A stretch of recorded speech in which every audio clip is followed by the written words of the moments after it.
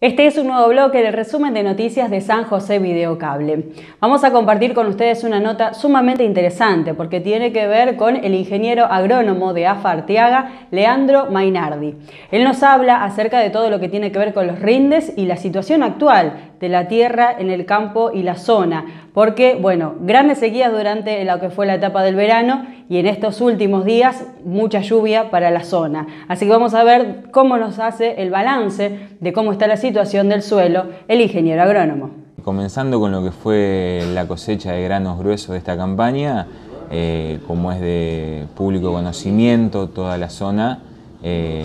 fue muy afectada por un periodo si bien de déficit hídrico, eh, también por las altas temperaturas que afectó mayoritariamente a lo que fue el cultivo de soja. Si bien este periodo de estrés lo que afectó en su mayoría fue al cultivo de soja, debido a que en la zona tuvimos rendimientos promedios de soja de primera de que fueron desde 9, 10, 12, 18 quintales Sí, dependiendo por ahí lo que fue la zona, o sea, lo que es Arteaga, San José, Cruz Alta, fueron las más perjudicadas, la soja de primera, no así lo que es el sur de Arteaga, Chañar, que por ahí no hubo eh, esa gran diferencia de rinde, que viene todo acompañado a la influencia de Napa que tienen esos campos. Con respecto a lo que es maíz de primera, si bien también fue afectado por el estrés calórico y por la sequía,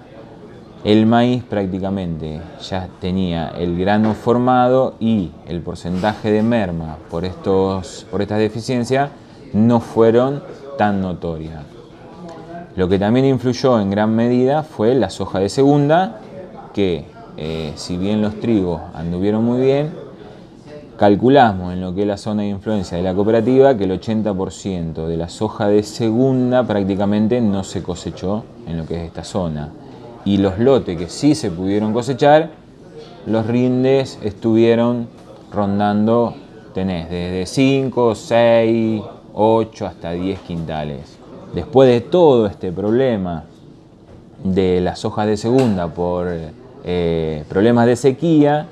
las hojas que quedaban por cosecharse, que si bien en la zona nuestra de influencia anda alrededor de la cosecha en un 90-95%,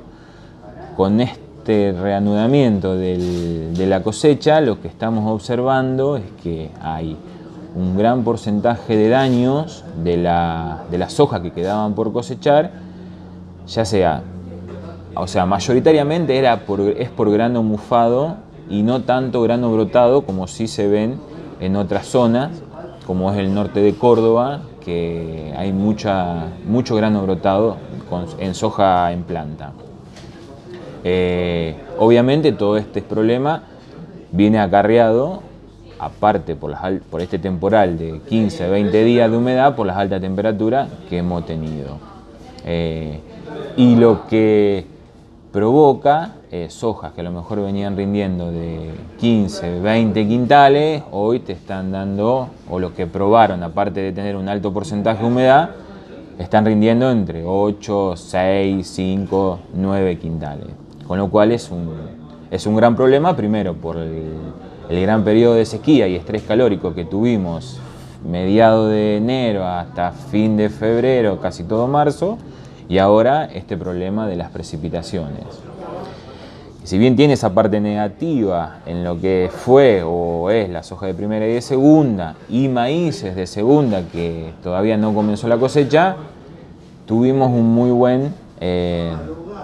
muy buen recargue del perfil para lo que va a ser esta próxima campaña de FINA, que lo que se está viendo es que el productor está muy entusiasmado, aparte de eh, los buenos precios que estamos teniendo eh,